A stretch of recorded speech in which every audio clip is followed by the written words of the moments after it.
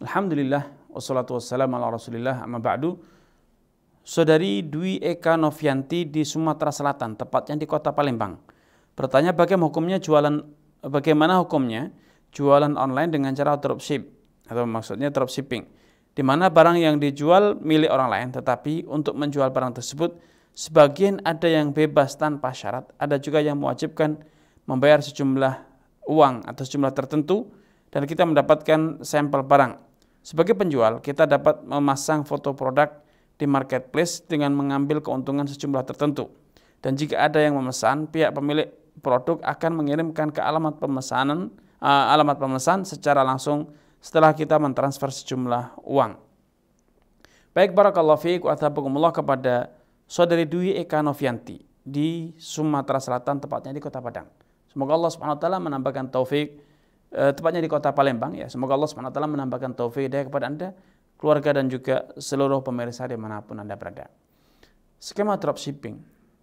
Bila ada klausul, kesepakatan, ada kerjasama antara pemilik barang dengan dropshipper, maka itu halal. Karena itu adalah jasa. Baik Eh, dengan memberikan kewenangan kepada dropshipper untuk memarkup harga yang harga dasar dari pemilik barang misalnya 100 ribu di markup menjadi 110 ribu.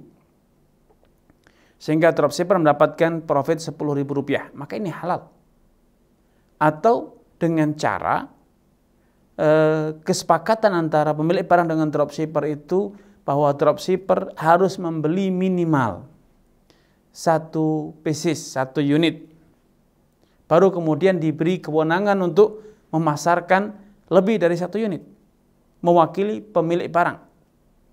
Ya, kalau ada pemesanan baru dia membayar sisa pemesanan. Kalau dia hanya membeli satu, kemudian ternyata dia mampu menjual sepuluh, maka dia harus melunasi sepuluh unit atau sembilan unit yang dia pesan. Baru nanti e, pemilik barang akan mengirimkan kepada Eh, pemesan. Maka insya Allah halal selama itu sekali lagi ada kerjasama, ada kesepakatan antara pemilik barang dengan dropshipper. Wallahu taala a'lam.